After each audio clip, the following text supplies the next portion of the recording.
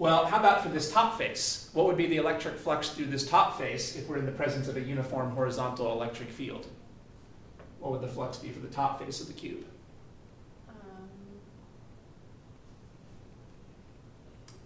The flux here, yeah. What can we say about the flux through this top face? I'm not sure. I, uh, would it be zero? Yeah, that's right. Again, you didn't sound too confident, but that's exactly right. Um, remember that we only want to take the component of the electric field that is perpendicular to the surface. Or equivalently, we only want the component of the electric field that is parallel to A. But what is the component of E that is parallel to A?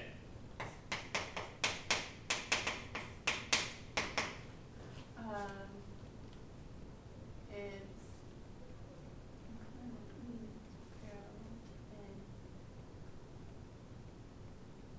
Does this have a component that's parallel to A? No. So what would a mathematician say is the component that's parallel to A?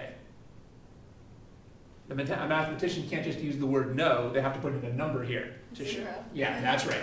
Okay, so you seemed a little uncomfortable with that. Yeah. But when a, when a component doesn't exist, a, math- a mathematician would say, well, the component is zero. Yeah.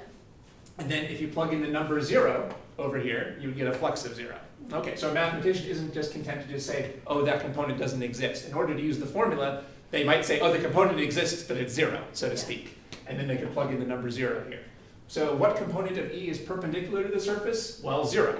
Or what component of E is parallel to the surface? Well, zero. So either way, we would get a flux of zero. Or we could just use our common sense. How much electric field is exiting or entering the surface here? Well, nothing. It's just skimming along the surface, but it's not exiting or entering the surface.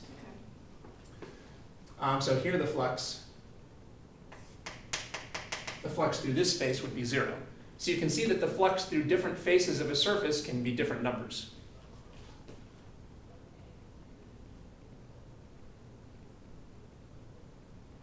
I think we can work that out based on common sense, but how about using our cosine of theta approach?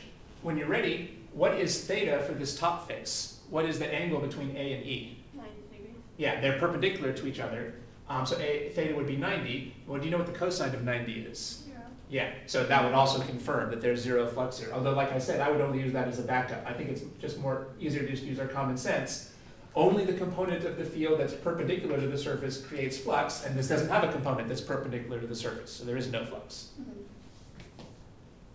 This was a case where all the electric field vectors were either parallel or perpendicular to each surface. We didn't have any cases where the theta was like 20 degrees or 30 degrees. You might see one or two problems in the homework where theta is like 20 or 30 degrees, but you're very unlikely to see that on the exams. That's a little too hard for an introductory course like this. Yeah. So we're just going to focus on the cases where E is either parallel or perpendicular to each surface.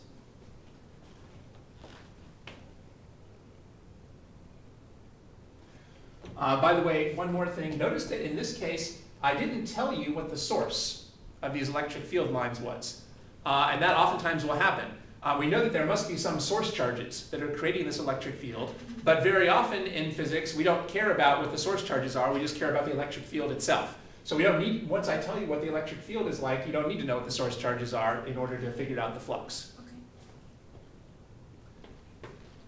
In this case, the, the source must be somewhere that's outside of, of this cube in order to create a, a uniform horizontal field like this.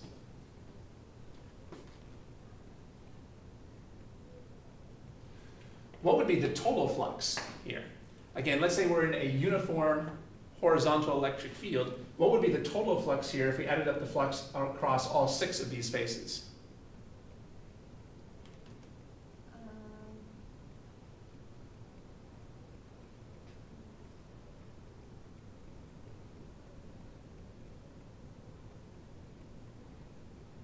I guess zero because That's right. there's the same amount going in as going out, so they cancel each other. Yeah, first of all, there's only two faces that have any flux at all. Only the left-hand face and the right-hand face have any flux at all.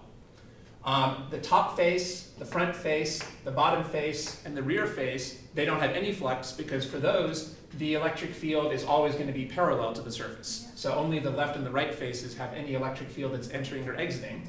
But remember that I said this is a uniform electric field, which means that the amount of electric field that is entering the left-hand face must be equal to the amount of electric field that's exiting this face. So the total amount of flux for the entire surface here would be zero, which is what we would expect because there's no enclosed charge.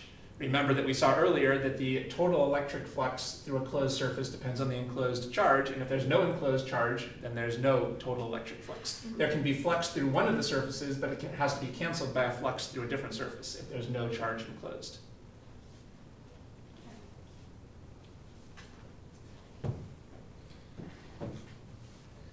Well, now I think we're ready to, to state Gauss's law, which is the main theme of this chapter. So we now we've gotten the concept that tells us how to measure the amount of electric field that's escaping through a surface. The, the flux here tells us how much field is escaping through the surface, or how many electric field lines are escaping through the surface, or the net amount of electric field lines. Here, the net amount of electric field lines escaping was zero, because any field line that entered was canceled by one that was exiting over here. Well, we saw earlier that the amount of, uh, so should the flux if you increase the enclosed charge, what should happen to the flux of the surface that's enclosing it? Should it increase or decrease?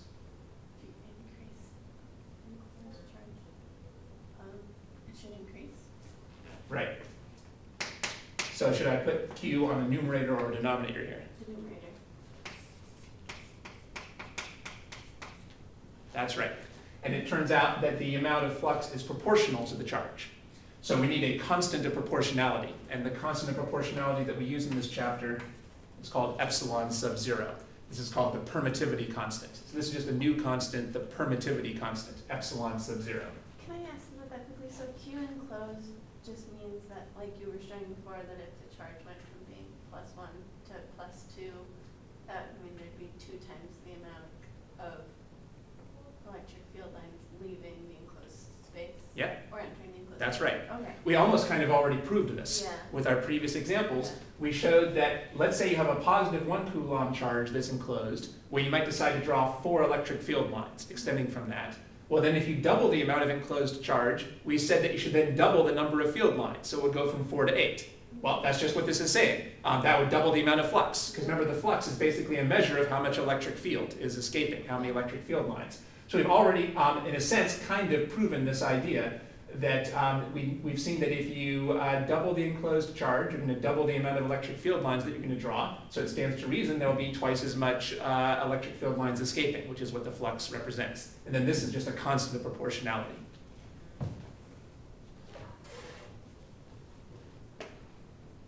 We haven't obviously done a full mathematical proof of this, but we've done all that we need. There's a bunch of, uh, um, when they talk about Gauss's law in the book, they have a bunch of different pictures to try to prove that um, all that matters for the flux is the amount of enclosed charge. We've gone through a few of those pictures. I think enough to get the basic intuition. There's some more pictures in the book that give you other cases, like when you have, say, two charges or three charges.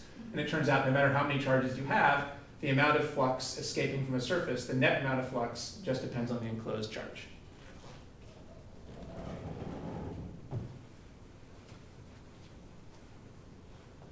So if there's zero enclosed charge, what would the flux be? Zero. Yeah, the total flux then would be zero, like in that previous example of the cube. That doesn't mean there can't be any flux, but the flux on one face would have to be canceled by the flux on another face, so the total flux would be zero. And what's E naught again? This is just a constant. Okay. It's like um, the constant, remember that last week we saw,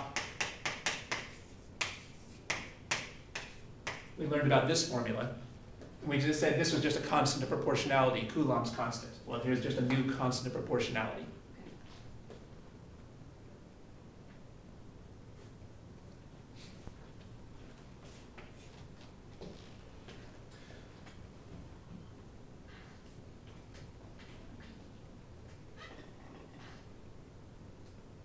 I guess we might as well figure out what the units are for flux. We should be able to use this definition to figure out the units for flux. So what would those units be? Um,